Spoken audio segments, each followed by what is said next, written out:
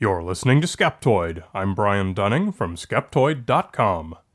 About that 1970s global cooling. Today, most climate scientists tell us the Earth is warming. Some people deny that and point out that in the 1970s, climate scientists said the Earth was cooling, perhaps headed into another ice age. Today's scientists counter that it wasn't climate scientists who said that, it was the media. The deniers counter that that's just a dodge, that it was in fact the scientific consensus in the 1970s. If the scientific consensus then was so wrong, how can a scientific consensus today be any more reliable? One side says, yeah, yeah, yeah, and the other counters with, I know you are, but what am I? Only to be told, you and what army? And are then shut down with a great big Today we're going to slide on our corduroy bell bottoms and go back to the 1970s to see who said the Earth was cooling and how many real scientists agreed with it.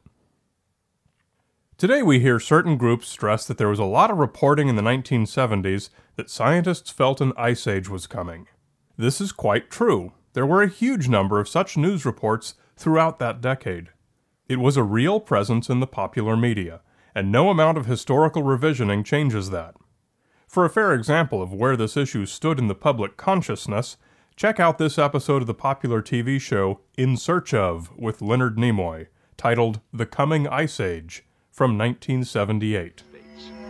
Climate experts believe the next ice age is on its way. According to recent evidence, it could come sooner than anyone had expected weather stations in the far north, temperatures have been dropping for 30 years. Seacoasts, long free of summer ice, are now blocked year-round. According to some climatologists, within a lifetime, we might be living in the next ice age. Websites of global warming deniers give long lists of newspaper and magazine articles from the 1970s trumpeting the alarm that an ice age is on its way. Any reasonable person who were to look at one of these pages would have to conclude that the science was pretty clear back then. The Earth is cooling, and cooling fast. Forty years later, we can now see that it didn't happen, and so the global warming deniers argue if scientists were that wrong back then, why shouldn't we think that they're wrong now when they say global warming is happening? Allow me to summarize. It is true that all this news did appear in the popular mass media and TV shows like In Search of. But, believe it or not, the news media had the same proclivity then as they do now for reporting what's new and sensational. Climatologists had known for a long time about the greenhouse effect and the warming produced by carbon dioxide, but until the latter half of the 20th century, nobody had really been able to put together predictive models. Then, in the late 1960s, the University of Washington published the cooling effects produced by sulfate aerosols in the atmosphere, which reflected solar radiation away from the Earth. This was a profound new twist, and suddenly everyone started testing for sulfate aerosols, an industrial pollutant which is also the cause of acid rain. You may remember that from the 1970s as well cooling effects were added onto climate models, and for a time a number of climatologists weren't sure which effect was going to be the more significant. That was all it took to make a sensational headline, and the mass media ensured that we'd have shocking fears to keep us alarmed throughout the decade. But beneath the surface, the response of mainstream climatologists was more measured. For the uncertainty that did exist, it was not a case of hey, we don't understand climate. And it was never a case of, it's getting cooler, an ice age must be coming. Rather, it was uncertainty over which of two man made influences would be the larger in coming decades warming from CO2 emissions or cooling due to sulfate aerosols. This was a question in part because sulfate aerosol cooling and greenhouse gas warming do not cancel each other out, because their effects happen at different times and places. Aerosol cooling happens over polluted industrial areas in the northern hemisphere, mainly during daylight hours in summer, while greenhouse gas warming has very little such variation. The two forces complicate one another, as opposed to canceling each other out. In the 1970s, when these discoveries were new, many weren't yet certain whether one or the other might win out. The warming effect of greenhouse gases was undisputed, and had always been. But there was a new concern that the aerosol cooling might be even larger, at least in the short term. At a basic level, all the news reporting about global cooling can be traced back to this specific question. But also during the 1970s, nations worldwide took drastic steps to reduce acid rain and sulfate emissions. The sulfate aerosols cleared up pretty quickly, and those who wondered whether their effect might trump warming quickly had their answer. It is absolutely still an important variable in our prediction models, but we no longer have the concern that some did in the 1970s that sulfate aerosol cooling might have a greater impact than greenhouse gas warming. One gauge of the spread of the uncertainty of the 1970s was a 2008 study in the Bulletin of the American Meteorological Society titled The Myth of the 1970s Global Cooling Scientific Consensus. It was a survey of climate articles published between 1965 and 1979 in the scientific literature, rather than of those published in the mass media. The authors found that 10% of the articles did indeed predict cooling. 28% found the data insufficient to make a prediction either way, and 62% predicted global warming.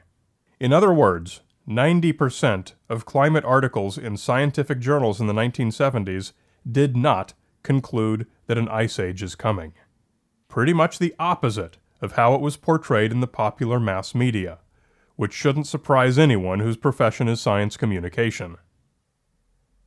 Even Exxon, a major fossil fuel company, was well aware in the 1970s that global warming caused by carbon dioxide from their product was potentially catastrophic.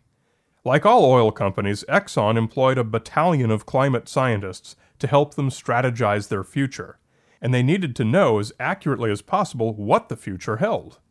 In 2015, Inside Climate News concluded an eight month investigation into what Exxon knew in the 1970s and what they did about it. One internal Exxon memo from 1978 said, What is considered the best presently available climate model for treating the greenhouse effect predicts that a doubling of the CO2 concentration in the atmosphere would produce a mean temperature increase of about 2 to 3 degrees Celsius over most of the Earth. Present thinking holds that man has a time window of 5 to 10 years before the need for hard decisions regarding changes in energy strategies might become critical. Exxon scientists did their best to pitch the importance of these studies to management. The rationale for Exxon's involvement and commitment of funds and personnel is based on our need to assess the possible impact of the greenhouse effect on Exxon's business. In addition, the international significance of the proposed programs will enhance the Exxon image in the public domain and provide great public relations value. For me, the single most compelling time capsule showing what the scientific community believed in the 1970s is found in the National Academy of Sciences 1977 publication, Energy and Climate Studies in Geophysics. It's a sizable tome, but well worth the free download if you have a few hours or weeks to kill.